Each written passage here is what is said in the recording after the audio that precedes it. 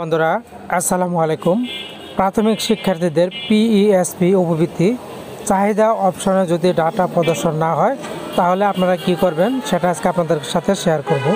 এজন্য আপনাদেরকে একটি লিঙ্ক ব্যবহার করে সেখানে শিক্ষার্থীর তথ্য দিতে হবে। তো চলুন আমরা এখন চলে যাব তো বন্ধুরা, আমরা চলে আসলাম। গত জানুয়ারি, জুন দু হাজার চব্বিশ সময়ের যে সকল শিক্ষার্থীদের ডাটা চাহিদা অপশনে এবং চাহিদার বিস্তারিত রিপোর্ট প্রদর্শন না করায় চাহিদা প্রস্তুত করা যাচ্ছে না। সে সকল শিক্ষার্থীদের জন্ম নিবন্ধন প্রেরণ সংক্রান্ত ফর্ম কীভাবে পূরণ করবেন সেটা আজকে আপনাদের সাথে শেয়ার করব। তো এখানে বলা আছে যে, বর্ণিত অবস্থায় নিম্মুক্ত লিঙ্কে প্রবেশ করে তারপর শিক্ষার্থীদের জন্ম নিবন্ধন তথ্য আগামী চব্বিশ এগারো দুই তারিখ পর্যন্ত জমা দেওয়ার জন্য অনুরোধ করা হলো। লিঙ্কটা আমার ভিডিও ডিসক্রিপশনে দেওয়া থাকবে, প্রয়োজনে আপনারা সেখান থেকে প্রবেশ করতে পারবেন। তো প্রথমে বলা আছে, বিভাগ এবং জেলা সিলেক্ট করার প্রয়োজন নাই। এই দুটো আপনারা সিলেক্ট না করলেও চলবে। এরপরে বলা আছে, তথ্য প্রেরণের ক্ষেত্রে নিম্মুক্ত ছক, সমস্যা সমাধানের ধরন এবং প্রত্যেক শিক্ষার্থীর শুধুমাত্র জন্ম নিবন্ধন নম্বর পৃথক পৃথকভাবে ইংরেজিতে পূরণ করবে। তো বন্ধুরা, এই যে লিঙ্কটা আমি ভিডিও ডেসক্রিপশনে দিয়ে রাখব।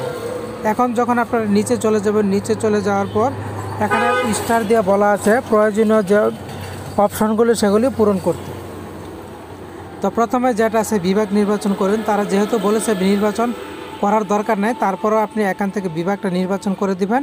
আপনার বিভাগ যেটা, সেই বিভাগটা নির্বাচন করবেন। চলে যাবেন নিচের দিকে নিচের দিকে গিয়ে এখানে জেলা খুঁজে পাবেন, এখানে ড্রপডাউন বারে প্রেস করবেন, তারপর জেলাটা সিলেক্ট করে দিবেন।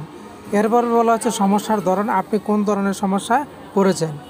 প্রথম সমস্যা হচ্ছে চাহিদা অপশনে প্রস্তুত, ক্লাস্টার এবং যাচাই বাছাই ও অনুমোদনের ডাটা দেখাচ্ছে না। আরেকটা হচ্ছে চাহিদার বিস্তারিত রিপোর্ট ডাটা দেখাচ্ছে না। আপনার ক্ষেত্রে যেটা প্রযোজ্য, এই গড়ে টিক দিয়ে দিবেন। এরপর চলে যাবেন নিচের দিকে। এখানে যে কথাটা বলা হয়েছে, শিক্ষার্থীর সতেরো ডিজিটের জন্ম নিবন্ধন নাম্বার ইংরেজিতে লিখতে হবে। ছকে একটির বেশি নিবন্ধন কিন্তু লেখা যাবে না। আপনার শিক্ষার্থী যদি একের অধিক হয়, আপনি বারবার এই গুগল ফর্মটা পূরণ করবেন।